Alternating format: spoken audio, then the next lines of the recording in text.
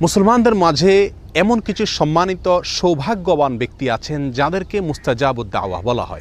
আল্লাহ সুমাতালার সেই সৌভাগ্যবান নেককার বান্দা, যার দোয়া সাধারণত আল্লাহ সুমাতালা ফিরিয়ে দেন না। তিনি নিজের জন্য কিংবা অন্যের জন্য যে কোনো দোয়া আল্লাহ সুমাতালার কাছে করলেই সে দোয়া আল্লাহ সুমাতালা কবুল করেন। তাকে বলা হয় মুস্তাজাবুদ্দাওয়া। সময়ত বন্ধুগণ, এই মুস্তাজাবুদ দাওয়াহ আমরা কীভাবে হতে পারব? কীভাবে এই সৌভাগ্য অর্জন করতে পারব যে আমি হাত তুললেই আল্লাহ সুমাতালা সেই দোয়া কবুল করবেন? আমার কোনো দোয়া আল্লাহ তালা সুমাতালা ফিরিয়ে দিবেন না। এ বিষয়ে তাবরানি বর্ণিত একটি হাদিস আমরা পেশ করতে চাই। সিনিয়র সাহাবি সাদ ইবনে আবি ওয়াক্কাস রাদিয়াল্লাহু তাআলা আনহু, তিনি একবার নবী আলাইহি সাল্লামের কাছে আহ্বান করলেন, দরখাস্ত করলেন, ইয়া রাসূলুল্লাহ, আপনি আল্লাহর কাছে আমার জন্য দোয়া করুন, আমি যেন মুস্তাজাবুদ দাওয়া হতে পারি।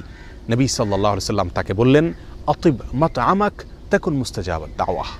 সাদ, তুমি তোমার খাদ্যকে হালাল রাখবে, পবিত্র রাখবে, পরিচ্ছন্ন রাখবে, হারাম এবং হারামের লেশ থেকে, তাহলে তুমি মুস্তাজাবুদ দাওয়া হতে পারবে।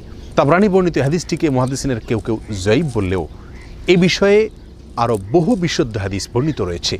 সহি মুসলিমের এক হাদিসে নবী সাল্লাহ সাল্লাম ইরশাদ করেছেন যে, একজন ব্যক্তি অনেক সময় দুর্গম পথ পাড়ি দিয়ে অনেক দূর দূরান্ত থেকে মক্কায় আসেন, দোলায় মলিন অবস্থায়, চুল এলোমেলো অবস্থায় ক্লান্তি এবং সকল কষ্টকে উপেক্ষা করে তিনি এসে আল্লাহর দরবারে হাত তুলেন, দোয়া করেন, মক্কায় এসে, বাইতুল্লাহ এসে এবং তার চাওয়াগুলোকে পেশ করে থাকেন এবং এমনভাবে চান যেন আল্লাহ তালা তার দোয়া কবুল করবেনই করবেন।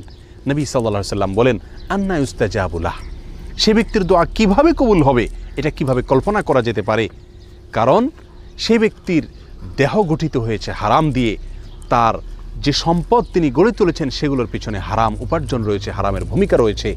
অতএব সেই ব্যক্তি আল্লাহ সুমাতাল্লার কাছে যতই দোয়া করুক, যতই মক্কায় গিয়ে দোয়া করুক, যত কষ্ট করে এসেই দোয়া করুক না কেন, আল্লাহ সুমাতাল্লাহ তার দোয়া কীভাবে কবুল করবেন? অর্থাৎ দোয়া কবুল হওয়ার কোনো প্রশ্নই উঠতে পারে না।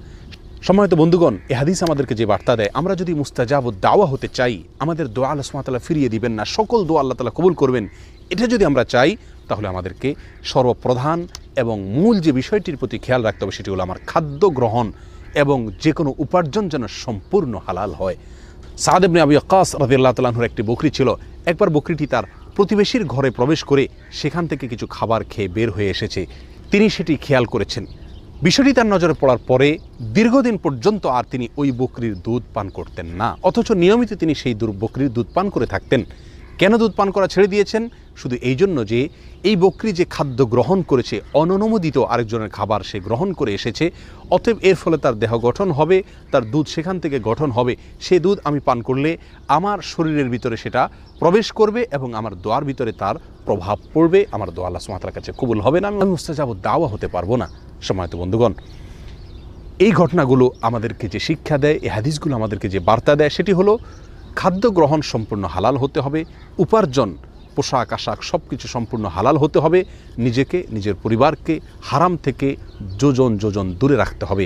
আজকাল দিনের অনেক বিষয়কে আমরা প্র্যাকটিস করি, কিন্তু উপার্জনের হালাল হওয়ার বিষয়টিকে পরিপূর্ণভাবে, পুঙ্খানুপুঙ্খভাবে, সন্দেহ থেকেও দূরে থেকে পিওর হালাল ইনকাম হালাল উপার্জন গ্রহণ করা হারামকে বর্জন করার মানসিকতা আজ আমাদের মধ্যে অনেক কম।